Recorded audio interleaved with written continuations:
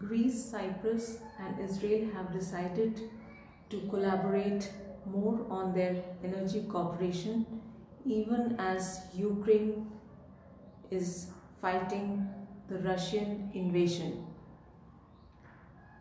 Leaders of the three countries have said that after the Ukrainian war, structure of energy requirements and demand has changed completely in Europe and in the Middle East and now these three countries, Greece, Israel and Cyprus will work closely to make energy demands meet.